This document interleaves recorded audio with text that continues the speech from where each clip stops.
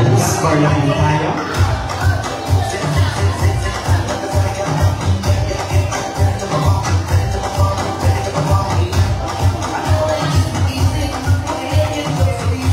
thank you so much, ladies! Kaya na kayo mag-BS para sa ating next category, which is the lingerie.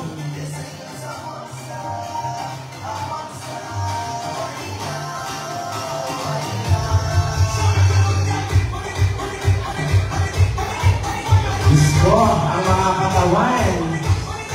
Talaga naman, walang tiyan. Walang inang. Siyempre, maya-maya lang ay babalik sila para sa ating next category, which is the lingerie Tawag. category. Sa'yo ba yan o kay Jose? Alfredo's Restaurant.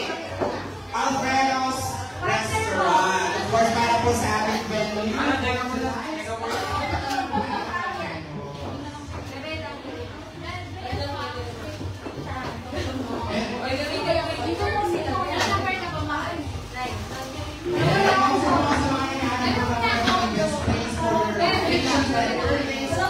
Doon muna ka na Alfredo's Place, which is located at Pinero,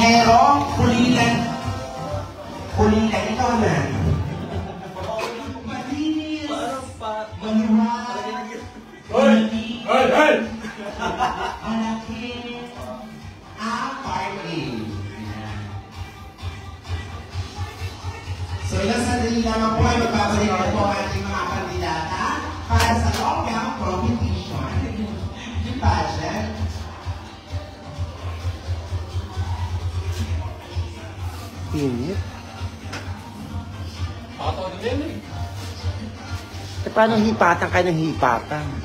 Ayan po. So, humingi po kami ng paumanhin dahil hindi po lumamig ang ating level. Kasi po, supposedly po dapat ipa-flash po lahat po ng sponsors, lahat po ng mga Titi niyan.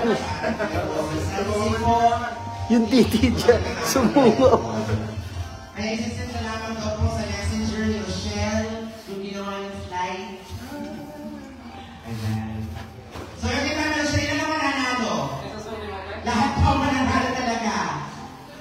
And of course, Madam Jim, thank you so much.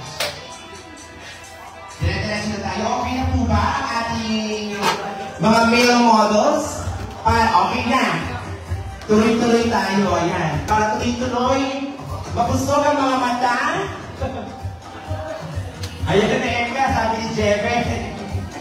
Okay, ladies and gentlemen, judges, Alfredo's Restaurant. Let's welcome them again, our male models in their lingerie. Let's start with our male model, number one.